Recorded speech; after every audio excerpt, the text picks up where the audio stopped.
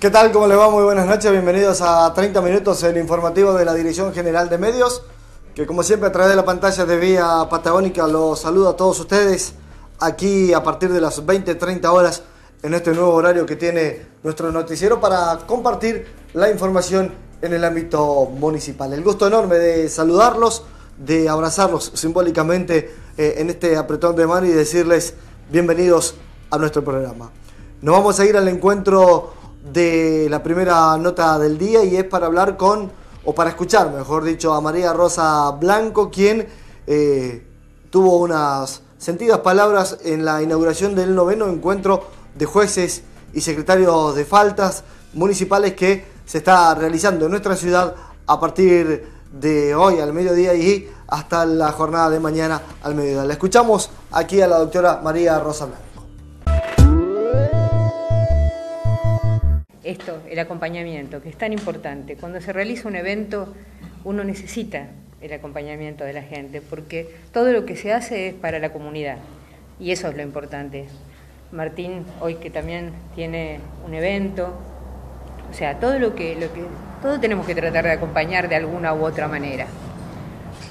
Eh, Puerto Deseado se ha caracterizado por ser punta de lanza, eh, inicio, puntapié, algunos nos dicen muy molestos, pero eh, para, no solamente para lo que se llama la organización o lo que se refiere a la organización de eventos como este, o sea, no es común que una, una localidad como, nuestra, eh, como la nuestra haya tenido. El primer encuentro santacruceño, del cual surgió la Asociación Santacruceña de Jueces y Secretarios, cuando en el 2011 muchos de ustedes estuvieron, que realizamos el encuentro patagónico, el, cuarto encuentro, tercer encuentro patagónico, cuarto encuentro patagónico de la justicia de faltas, que vino gente de, muchos lados y que fue realmente muy interesante. Y ahora estamos realizando el noveno encuentro santacruceño. Eh, también es verdad y, y queremos recalcar que Deseado se ha caracterizado no solamente por esto, sino por participar en la mayoría de los, de los encuentros y jornadas que tengan que ver con municipalismo, medio ambiente, tránsito, que se han realizado en todo el país. En general, donde había algo de eso, alguno de nosotros estaba. Y eso es muy importante y se tiene en consideración, ¿sí? Y debemos tomarlo en consideración.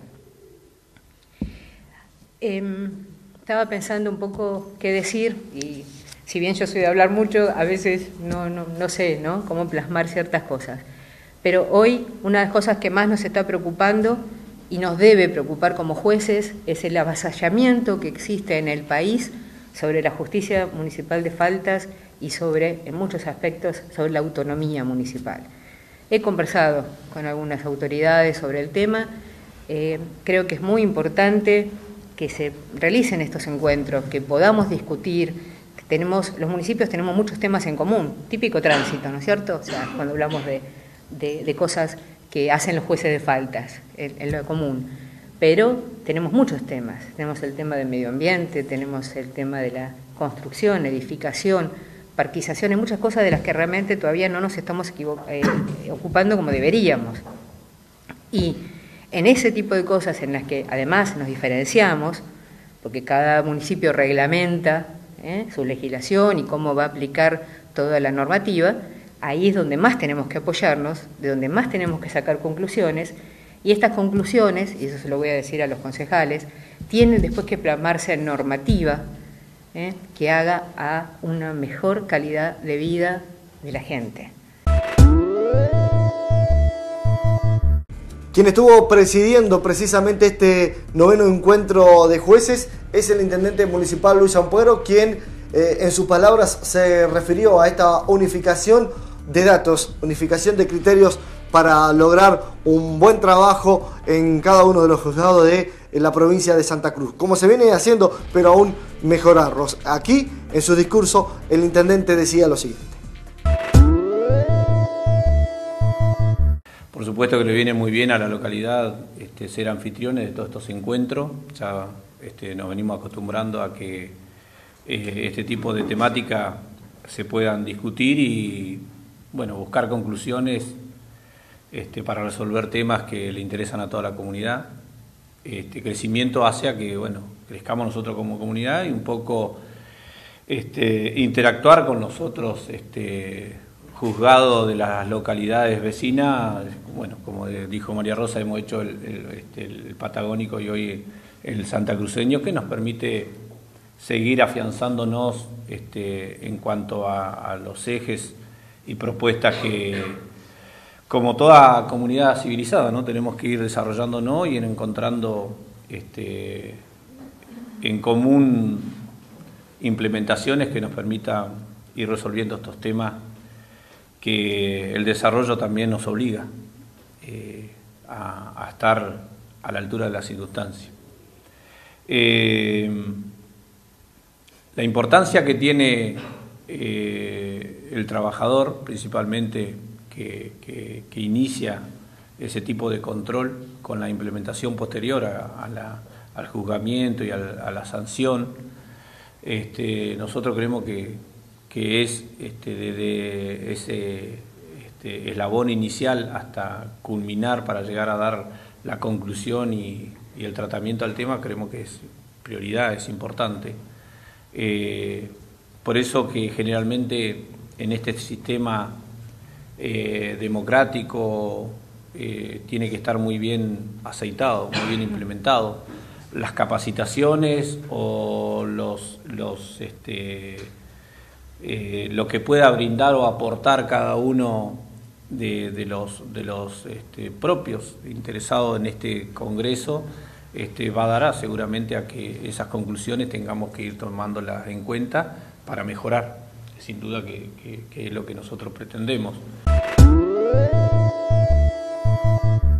Tiempo de irnos al primer corte publicitario. Aquí estamos en el aire de Vía Patagónica compartiendo desde la Dirección Municipal de Prensa 30 minutos. En breve volvemos con mucho más.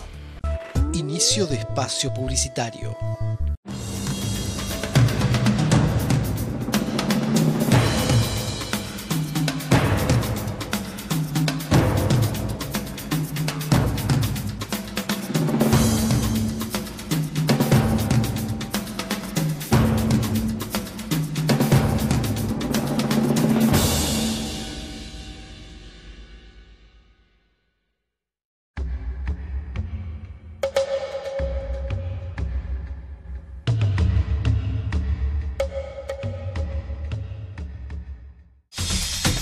Departamento de Juventud, Sistema de Participación Educativa, Concientización, Aprendizaje, Participación, Abordaje. Seis escuelas, 200 alumnos, padres y docentes, trabajando por un futuro sano.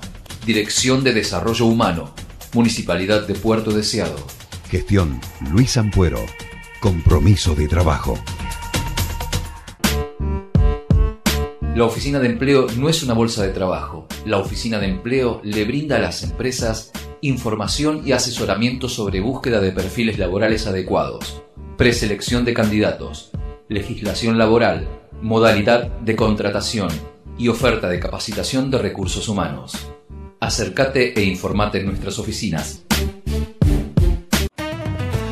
Acercamos al vecino mayor infraestructura, más servicios mejor calidad de vida, cosechando vínculos, uniendo lazos